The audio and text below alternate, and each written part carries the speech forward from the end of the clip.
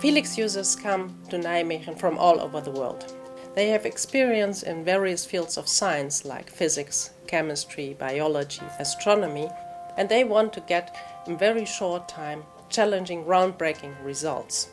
These results distinguish from what they do at their home laboratory.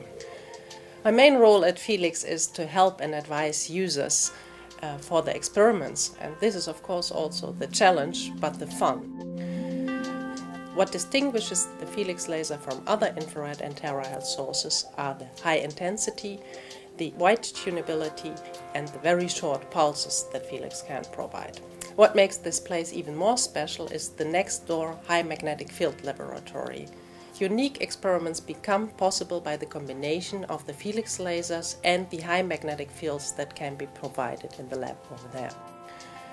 What I still find fascinating about the Felix lasers is the number of science questions you can answer still with infrared and terahertz radiation.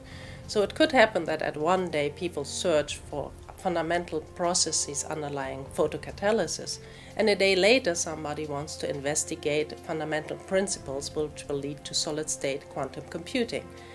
It is the diversity and the groundbreaking science at Felix that makes it a very dynamic, highly interesting, and fascinating place.